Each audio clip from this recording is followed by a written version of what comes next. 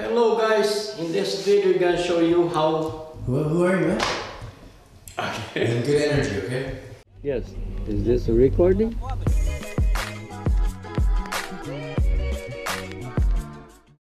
Hello guys, Bahiano here. In this video we're gonna show you how to refinish a old wood floor, hardwood. And uh, the reason we do it, it is has some dent, a lot of scratch, water damage, and it just need to be done. So we're gonna show you, it is about uh, probably 600 square feet of floor. We can show you the area that we're gonna do. How old is it? And this uh, probably is about 60 years old house, so it's um, old time, real hard. So I show you guys in here, like you can see like uh, some damage. Here we did some patch, so we need to redo it because of that. Like uh, you guys can see, real deep scratch. Yeah, I'm gonna show you here the area that we're gonna do. Few bedrooms.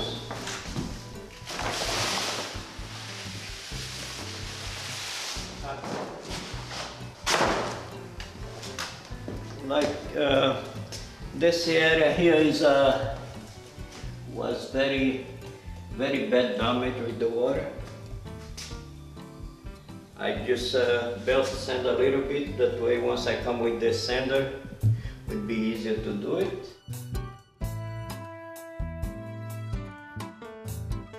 Maybe you don't see on the camera, but it's uh, a lot of dents, looks to be where we've had a bed or something. And the water damage on that corner. This room here, you can see, show you guys, mark with mark and the floor. So it's in bad shape. So this is why we're gonna work on it. And uh, as a preparation to do it, we have moved uh, the doors.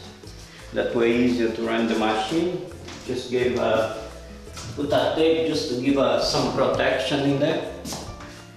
Yes, for preparation to go with the big machine, some area they were uh, heavy damage. I just used the belt sander to remove the higher part and that way would be easier to do with the big machine. Okay, on the last video I show you how to reuse the old hardwood floor.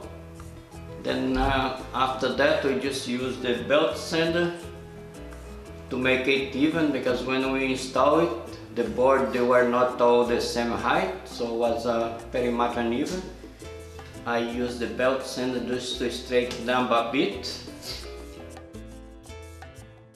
The, the reason that I use the belt sander is because the belt sander is uh, to do a small areas more aggressive and it would uh, sand faster and saves you sometimes. This is why I use it and uh, after the belt sand the preparation that we did we remove all the doors tape around the door jamb to give a bit protection. And we we punch in the nails because we had some nails on the old floor that was uh, sticking out. And if you leave that that would damage your sandpaper.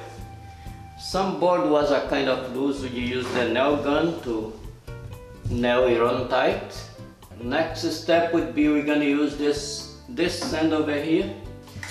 We have few hand sanders in here that we're gonna use to do the corner where the big one does not reach. Once we do that the next step would be to use the buffer to to the fin finish sanding.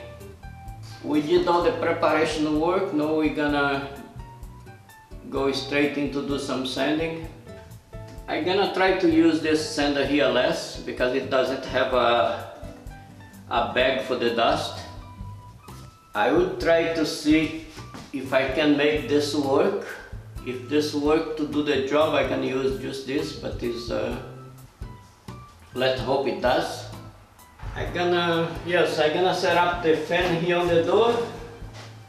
And I'm gonna set up the blower over there.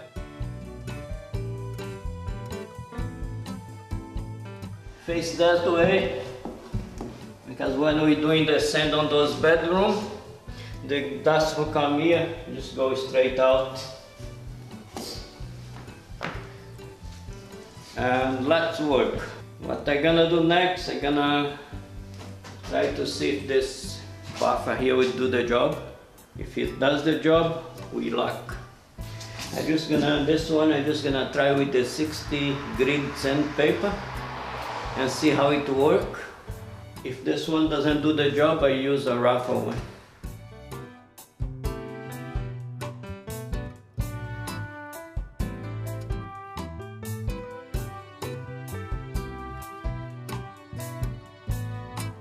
Now ready? Right.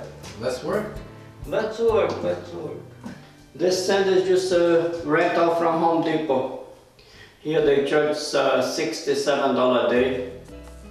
And it's about it. Did you have to buy the sandpaper?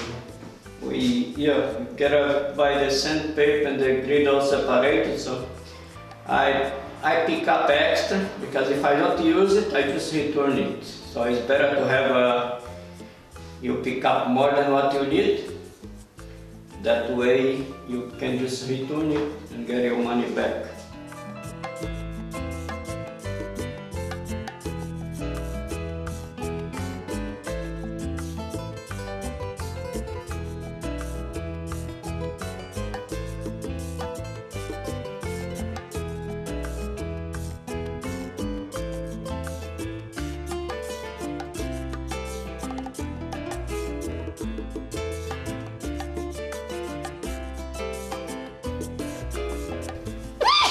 Wow.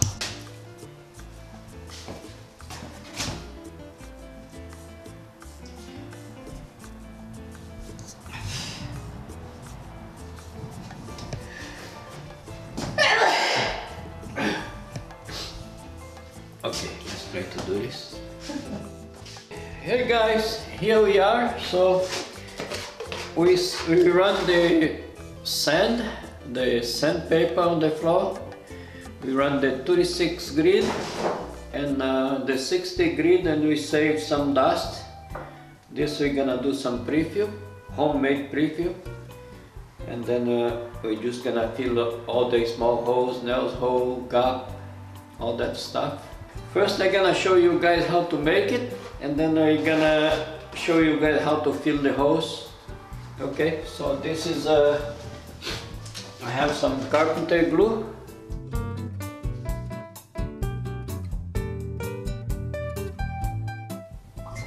I'm gonna just pour some in here. I have some water in here. I'm gonna put some water because if I if I put just the glue gonna be very hard.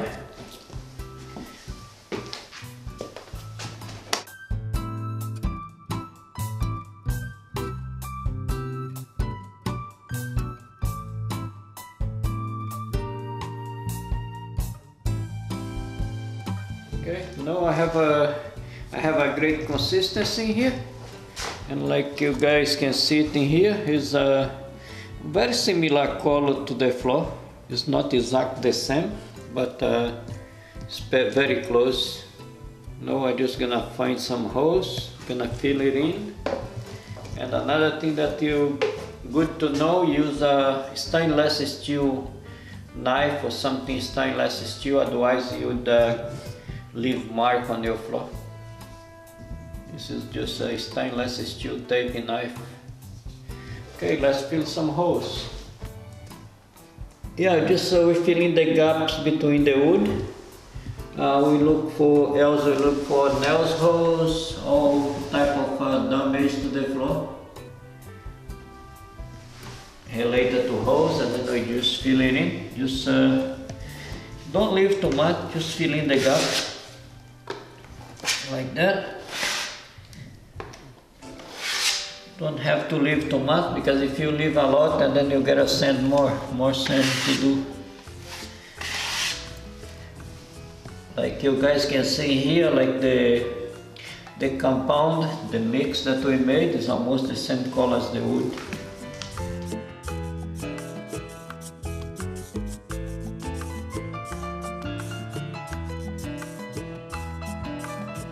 Just have uh, some dents that very deep, didn't come off with the sanding. So we're just gonna, we're gonna fill them in. And then once it's dry, tomorrow morning we just do another sanding right there, all right? This is what we're gonna do here. Yes guys, here we just uh, fill in some hole. We sweep this door this side and then we have the the hole here for the ridge. This is what we're doing here. But if the hole is very big with this compound, it's good to put a two or three coats, whatever it takes. I show you guys one hole here, like you can see. See how big is this hole? This in here. We just fill it in.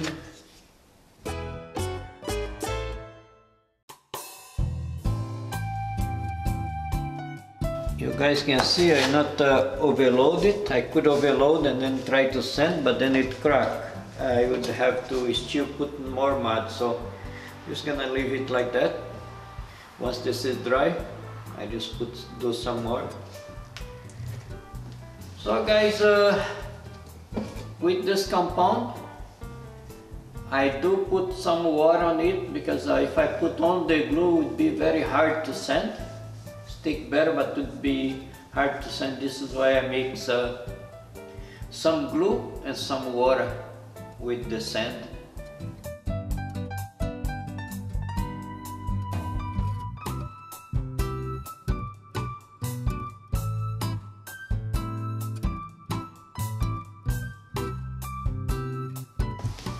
Yes guys, uh, see this board here is a little bit higher.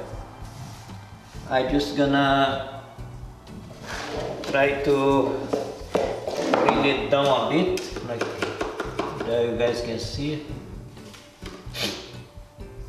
So I'm just gonna punch it a little bit. And then I put few nails.